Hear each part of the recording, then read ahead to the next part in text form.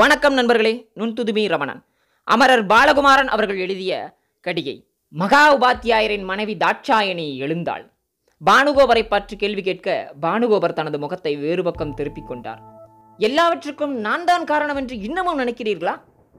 பெண்களை கோட்டைபுரத்து சபையில் பேச விடுவதில்லை. அவர்களுக்கென்று தனியாக நேரம் கொடுக்கும்போது அவர்கள் பேசுவதுதான் இங்கு வள சபைக்கு நடுவே பெண்கள் ஒரு காலும் தங்கள் அபிப்பிராயத்தை சொல்லக்கூடாது. அவர்கள் போய் அமரட்டும் என்று தர்மதாசர் கட்டளையிட்டு போய் உங்களிடத்தில் இருங்கள். இப்பொழுது நீங்கள் பேசக்கூடாது. ஏன் கூடாது? பெண்களை அடிமையாகவே நினைக்கிறீர்களா? அப்படியல்ல. சேரதேசத்து அந்தனர் எவரும் மனைவியை அடிமையாக நினைப்பதில்லை. மாறாக அதிக ஆளுமை செய்ய விட்டு விடுகிறார்கள். இதுதான் இப்பொழுது குறை தர்மதாசர் தொடர்ந்து பேசினார். திடீரென்று அத்தனை ஆண்களும் பெண்களும் உரத்துச் சிரித்தார்கள். தர்மதாசர் உட்கார்ந்து கொண்டார். தாட்சாயணி முகம் சிவந்து போனாள். தலை குனிந்திருந்த மகா உபாத்தியாயர் திரும்பி அவளை பார்த்து என்று சீர அவள் போய் உட்கார்ந்து கொண்டாள். அவர் கண்களிலிருந்து பொங்கிய சீற்றம் மாணவர்களுக்கு வியப்பாக இருந்தது. அவள் வருகைக்கு உங்கள் மன்னிப்பை நான் கோருகிறேன். இனி இந்த இடையூறு இருக்காது. கடிகையின் நல்லதற்காக சொல்கிறேன். என்னை கடிகையிலிருந்து வெளியேற்ற வேண்டும் என்ற உங்கள் எண்ணம் கடுமையானது. இந்த கடிகைக்காக நான் உழைத்திருக்கிறேன். பதினைந்து வயதிலிருந்து இதோ இந்த நாற்பத்தைந்து வயது வரை உழைத்திருக்கிறேன் முப்பது வருடங்கள் உழைத்திருக்கிறேன். பல்வேறு விதமான புதிய பயிற்சிகளையும் நுணுக்கங்களையும் சேர்த்திருக்கிறேன். எந்த மன்னருக்கும் கட்டுப்படாமல் சுயமாக இருந்திருக்கிறேன். கடிகையின் கௌரவம் என்னால் குலையவே இல்லை. என்னை எதற்காக வெளியேற நான் செய்த பாவம் என்ன பானுகோபரே? கடிகைக்கு தேர்தல் முறை உண்டு. அதை புறக்கணித்தீர்கள். தேர்தல் முறை இல்லாத போது பலப்பரீட்சை உண்டு. அதையும் புறக்கணித்தீர்கள்.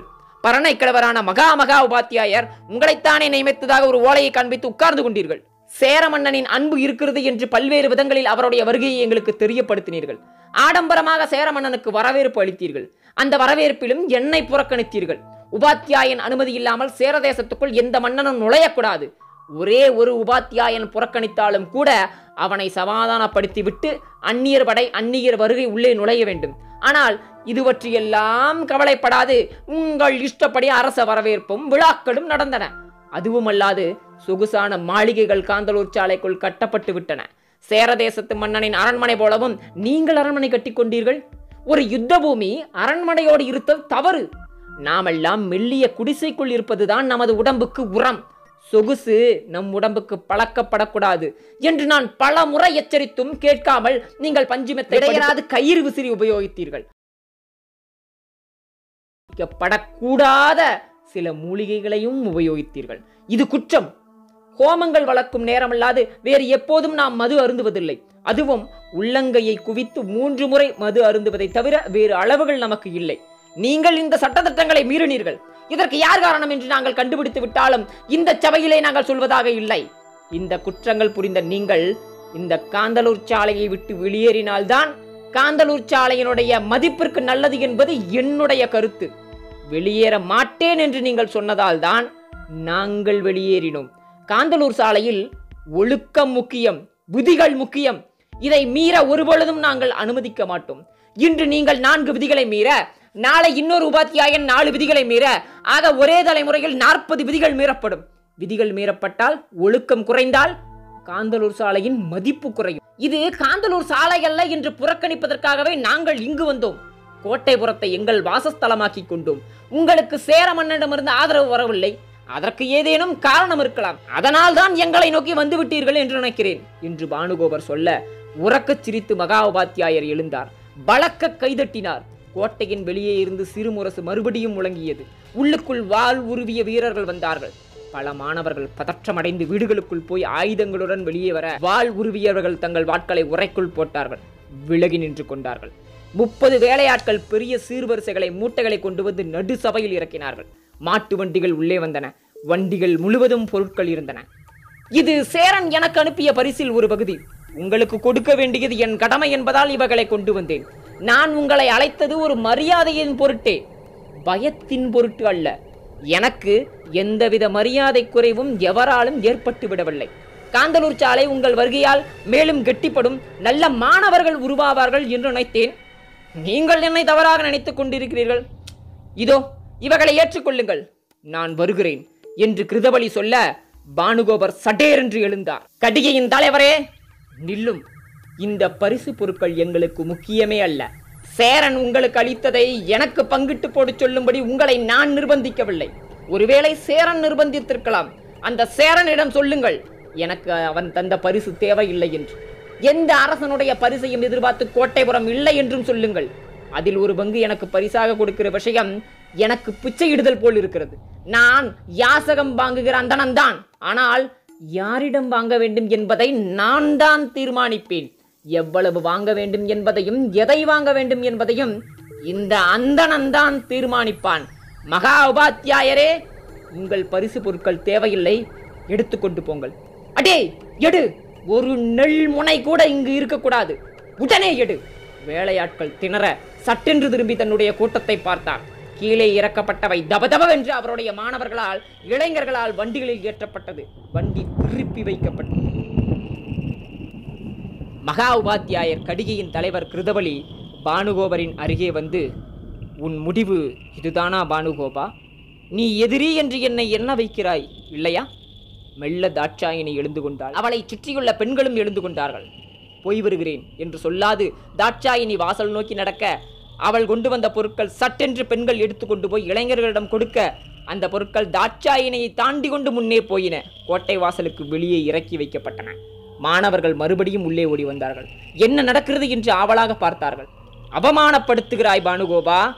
திட்டமிட்டு அவமானப்படுத்துகிறாய் என்னை. உனக்கு பரிசளிக்க எனக்கு தகுதி இல்லை என்று நினைக்கிறாயா? நல்லது. நான் வருகிறேன். இதுவரை நீ ஏதேனும் ஒரு கணத்தில் உள்ளே நுழைவாய். காந்தலூர் சாலை மீது உனக்கு காதல் இருக்கிறது என்று நினைத்தேன். இல்லை. உனக்கு உன் மீதுதான் காதல். நீதான் தலைவனாக வேண்டும் என்ற வெறி. உன்னை தவிர வேறு யாரும் எங்கேயும் ஆளுமை செய்துவிடக்கூடாது என்ற அட்டகாசம் உன் மனதிலே இருக்கிறது பானுகோபா. அட்டகாசம் இருக்கிறது. இதற்குண்டான பலனை நீ அனுபவிப்பாய். இந்த அந்தன இளைஞர்களை பலவீனர்களாய் மாற்றிக் கொண்டிருக்கிறாய் நீ. வலிவு இல்லாமலும் திறமை இல்லாமலும் உன் கூட்டம் இருக்கிறது என்பது உனக்கு தெரியவில்லை பானுகோபா. என் கூட்டத்தின் வலிவு பற்றியும் திறனை பற்றியும் உங்களுக்கு நிரூபிக்க வேண்டிய இடத்தில் நான் நிரூபிப்பேன். மற்றபடி அதை பற்றிய அபிப்பிராயம் சொல்ல உங்களுக்கு எந்த அருகதையும் இப்போதைக்கு இல்லை. நீங்கள் போய் வரலாம். போய் வரலாம் என்ற வார்த்தை ஒரு மரியாதைக்கானதுதான். பண்பாடோடு சொல்லப்படுவது. நேரடியாக அர்த்தம் எடுத்துக்கொள்ள வேண்டும். கடிகை தலைவர் மகா உபாத்தியாயர் மெல்ல நடந்து குதிரையில் தாவி ஏறிக்கொண்டார் குதிரையை ஓட்டியபடியே அந்த குடியிருப்பை சுற்றி பார்த்து வந்தார். வெறும் மண் கோட்டை ஆமாம் ஆமாம். கல்கோட்டையாக இருந்தால் கைப்பற்ற முடியாது மண் கோட்டையாக இருந்தால் கைப்பற்றி விடலாம் என்று நினைக்கிறாயா கிருதபலி? உன்னால் ஒருவனை உள்ளே வந்துவிட சொல் பார்ப்போம். உள்ளே வந்து உயிரோடு வெளியே போகச் சொல் பார்க்கலாம். இது மண் கோட்டையா இல்லை மனித கோட்டையா என்பது அப்பொழுது உனக்கு புரியும். மகா உபாத்தியாயர் அந்த சவாலை எதிர்கொள்ள தயாராக இல்லை. சட்டென்று குதிரையை திருப்பிக் கொண்டு வெளியேற மற்ற வீரர்கள் பின்னால் நடந்தார்கள். வண்டி மாடுகள் நகர்ந்தன. பானுகோபரும் மற்றவரும் கோட்டை கதவை மூடி மரச்சாளரங்களில் ஏறி கோட்டை சுவரிலிருந்து பார்க்க அந்த ஊர்வலம் மிக துரிதமாக காந்தலூர் சாலை நோக்கி போய்க் கொண்டிருப்பதை கண்டார்கள். கூடுதலாக கதவு திறந்திருக்கட்டுமா? மூடட்டுமா? என்று ஒரு இளைஞன் கேட்டான். திறந்துவிடு காற்று வரட்டும். இன்னும் நான்கு பேரை காவலுக்கு வை. அது போதும். மனதில் ஏதோ ஒரு பிசையில் இருக்கிறது. தர்மதாசர் ஒரு வேப்ப மரத்தின் மீது சாய்ந்து கொண்டே சொன்னார். எனக்கும் இருக்கிறது. அவர்கள் வந்துவிட்டு போன பிறகு ஒரு புறா கூட தரையிறங்கவில்லை. கவனித்தீர்களா? குருவிகள் கூட இடையறாது கத்துகின்றன. கோபமும் மாத்திரமும் சூழ்ச்சியும் உள்ள மனிதர்கள் வந்தால் பறவைகள் அவர்களை மறுதளிக்கும் பானுகோபர் கூறினார். இப்பொழுது நாம் என்ன செய்வது? என்ன வருகிறதோ அதை எதிர்கொள்வதுதானே சிறந்தது. சரி பரணைக்கிழவர் தங்களிடம் என்ன சொன்னார்? தர்மதாசரை நோக்கி பானுகோபர் கேட்டார். தர்மதாசர் ராமோபாத்தியாயரை நோக்கி திரும்ப ராமோபாத்தியாயர் பரணைக்கிழவர் பேசியதை சொன்னார். பிரசன்னம் பார்க்க வேண்டும். யார் பார்ப்பது? பிரசன்னம் பார்ப்பதில் நம்மில் தேர்ந்தவர் சுதபலி. சுதபலி உபாத்தியாயரே வாரும். பிரசன்னம் எப்போது பார்க்கலாம்? இப்போது பார்க்கலாமா? பார்க்கலாம். என்ன கேள்வி? இது நல்ல கோரை தானே பார்க்கலாம் ராமோபாத்தியாயர் அதற்கு பதில் சொன்னார். காந்தலூர் சாலை கடிகை நம்மை தாக்குமா அல்லது அணைக்குமா? இதுதான் கேள்வி. கோலம் போடப்பட்டது. நீர் சொம்புகள் வைக்கப்பட்டன. கைகால் கழுவிக்கொண்டு சுதபலி உபாத்தியாயர் உட்கார்ந்து கொண்டார். சோழிகளை உருட்டி கோலத்தின் மீது போட்டார். மல்லாந்தும் குப்புரவும் சோழிகள் இருந்தன. சோழிகள் விரிந்த திசைகளை குறித்து கொண்டார். காந்தலூர் சாலை தாக்கும். உடனடியாக தாக்கும். எந்த புறமிருந்து தாக்கும்? காந்தலூர் சாலை அது இருக்கும் வழியில் தாக்காது. தாண்டி போய் திரும்ப வந்து தாக்கும். புரியவில்லையே? எனக்கும் புரியவில்லை. பார்க்கலாம் பிரசன்னம் பார்க்கலாம். பார்க்கலாம். நாம் இங்கிருந்து எதிர்ப்பதா அல்லது நாம் வெளியேறுவதா? மறுபடியும் சோழிகள் உருட்டப்பட்டன. அத்தனை சோழிகளும் மல்லாந்திருந்தன. நீங்களே பாருங்கள் என்று சுதபலி உபாத்தியாயர் கை நீட்டி காட்டினார். இதற்கு என்ன அர்த்தம்?